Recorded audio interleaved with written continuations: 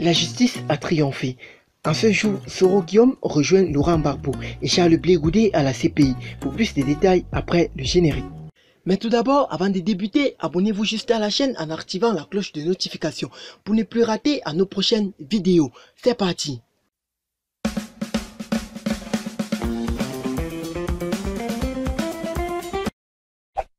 Soro Guillaume est condamné à 20 ans d'emprisonnement ferme et à la privation de ses droits civiques pendant 5 ans. Les choses ne sont plus fabuleuses pour l'ancien président de l'Assemblée nationale, son Excellence M. Guillaume Kibafori Soro. Depuis décembre 2019, tout est vraiment gâté entre lui et le RHDP. Mieux entre son mentor Alassane Ouattara et lui. C'est le divorce consommé. Depuis son retour manqué le 23 décembre 2019, il est en exil en France.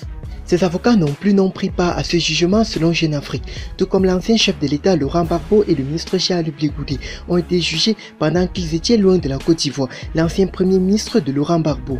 L'ex-président de l'Assemblée nationale ivoirienne sous le pouvoir d'Alassane Ouattara a été reconnu coupable de recel de deniers publics détournés et de blanchissement de capitaux. Il a été condamné à 20 ans d'emprisonnement ferme, 4,5 milliards de francs CFA d'amende et la privation de ses droits civiques pendant sept ans. Guillaume Soro vient donc à l'instant de rejoindre Laurent Barbeau et Charles Blégoudi dans cette affaire de condamnation de 20 ans d'emprisonnement ferme par la justice ivoirienne.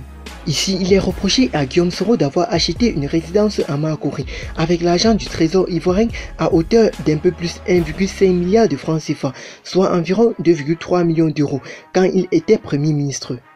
Il faut aussi rappeler qu'il lui est interdit de voter et de se présenter à une quelconque élection pendant 7 ans.